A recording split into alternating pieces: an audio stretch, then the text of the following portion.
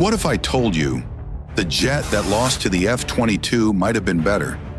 This is the YF-23, nicknamed the Black Widow II. It competed against the YF-22 back in the 90s to be America's next air dominance fighter. It was faster, had longer range, and was stealthier with a futuristic design that made it almost invisible to radar. Its unique V-tail and blended body gave it incredible efficiency and reduced heat signature, making it harder to detect by infrared sensors.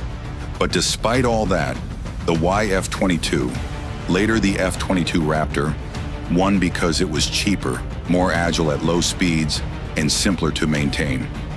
Some say if the YF-23 had been chosen, America might have had the most advanced stealth fighter ever built. What do you think? Did the US pick the wrong jet, or was the F-22 the right call?